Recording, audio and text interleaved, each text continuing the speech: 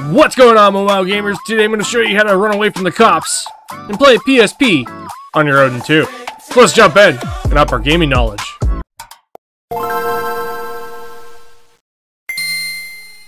Alright gamers, so this is going to utilize an application that I own on the Google Play Store called PSPP. PP. SSPP. Now, this is an emulator for playing PSP. There is a regular version and there's a paid version. Now, the paid version, I'm pretty sure it has a lot extra features, and I've paid for it because it does have a few other features that aren't in the free version.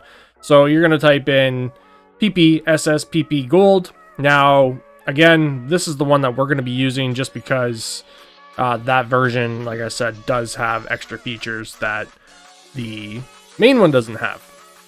Now, after you install this, it's pretty straightforward to set everything up. And because of our device being the Odin 2, we are going to be able to render a lot of games at 4x resolution. Some games actually render at 8 times resolution and they look pretty good, but most of the games 4x resolution look great on this little screen and this device. Now, this section we're going to actually create a folder for all of our data this part is kind of up to you though. Now, I like to have my own personal folder so that I can back up my game saves and everything. So I'm going to do that. So we're going to click OK. Now I have a folder called PSP already set up.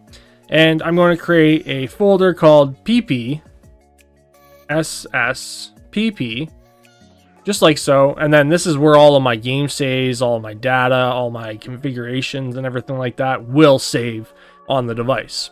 Now, when it comes to loading games, we're going to click on Browse. We're going to go to PSP folder, go to Games, and use this folder. Now, this is the folder that I have set up for my games. This isn't a guide to teach you how to get games. All of these games are set up in an ISO format, so I will show you my games here quickly inside of my actual um, games folder, which is my folder on my device. So I'm going to scroll down to my Odin 2. And the reason why I'm using my Max model for this is just for the sake of the video because you have to have a Google account and my base model does not have the Google account. So yes, a lot of these games are in an ISO format and you have to extract most of these from a 7Z format. And how you do that is go to RAR Labs from the Google Play Store and that is a free application. So I'll show you that application here, RAR Labs. And it's this one right here. That's the one that I use to extract any of my games out of a 7Z file easily and very simply.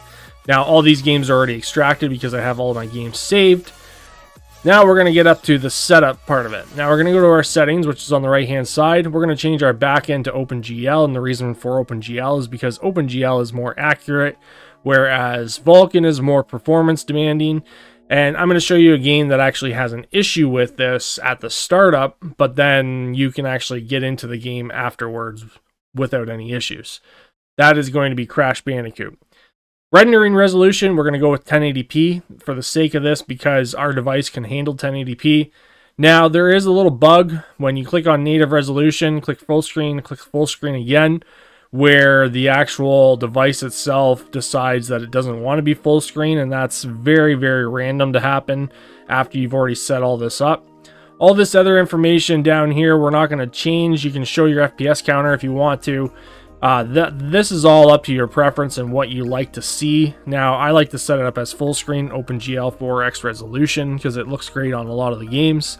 As you saw in the beginning even grand theft auto looks great now, a lot of these other graphics, we can render duplicate frames on a 60 hertz, but it, it's not really necessary for a lot of these games, and I think they look great with this setup.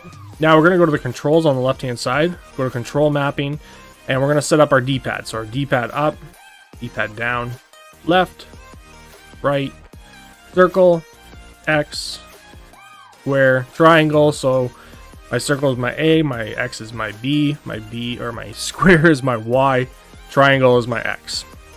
Start and select, I think they're already set up. L is going to be L1, R is R1. Fast forward, I set to my M2 button on the back. Now my pause, which is just opening up the menu, is my M1 on the back. Save state, I've set it to my R2. and my load state is my L1 or L2. Now that's up to you. If you don't want to have those buttons set up or have any save states, you don't have to. I just like to show where those are and show you the extra buttons that you can actually set up. Screenshot, you can set that up if you want to. Maybe you want to have your L2 as a screenshot instead, just to take a screenshot of the game. You can clear all your settings at any time. You can auto config at any time. I just like to set it up myself. It's all up to your preference. Audio, we don't really need to change anything on there. And all of our tools, and if you have retro achievements, I guess that's a new feature that they added. I don't really bother with that because I don't use retro achievements. That is basically it in a nutshell. There's no BIOS needed. There's nothing else needed for this to actually work. We can jump into a game like Burnout, for example. Now, you're going to see your on-screen buttons. You're going to click the back button, click Settings, go to Controls, go to On-Touch Screen Controls, which is a little checkbox down at the bottom there, and then they'll disappear. And they'll stay disappeared for all the games that you jump into, just like so. So these games, like I said, a lot of these PSP games, they render really, really well. Now, this is one of the games that I've noticed that actually renders really, really well if you want to upscale it to eight times. Some games like... Um, can't even think of the game right now. I'm going to save this state for a second. Uh, Assassin's Creed. Assassin's Creed, you can't render 8, 8K. It ends up uh, basically breaking the game look of it. So don't even try to bother with it unless you want to just see what I'm talking about. Now, I'm just going through the process just so that you guys can see what this game looks like. We're just going to go to a race. I'm going to go random, and then I'm going to show you the car. So the car, this is right now at just 4x, but if we go to 8K, we go back, go back, you'll see a significant difference of how smooth that looks and everything. And this is what I was talking about when we select the, the full screen option. Sometimes that full screen option, if you change the actual auto rendering, as you can see there, it actually made it look smaller. So just click on the full screen option again. And then, like I said, it just, it's cutting off that outside square there. So let's go back again, go to settings, change this to native, and then that'll actually natively set the screen within the actual device itself. Now again, I like it at 4x. I think 4x looks perfectly fine. If you notice any issues, that's, you know, all up to your eyes and everything. Some games have little lines through them as you see at the top there. But that goes away. That's not something that's going to show when you're actually in the game.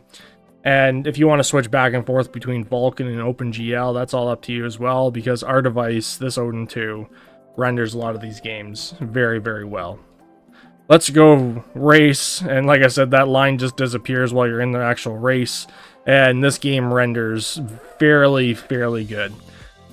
We're just rendering PSP on a device that's way more powerful than PSP. And the emulator itself, the developer has done a really good job with this one. Have a nice day. Hope you enjoyed. Don't forget to like and subscribe as we reach our goal of 5,000 subscribers, hopefully, before Christmas.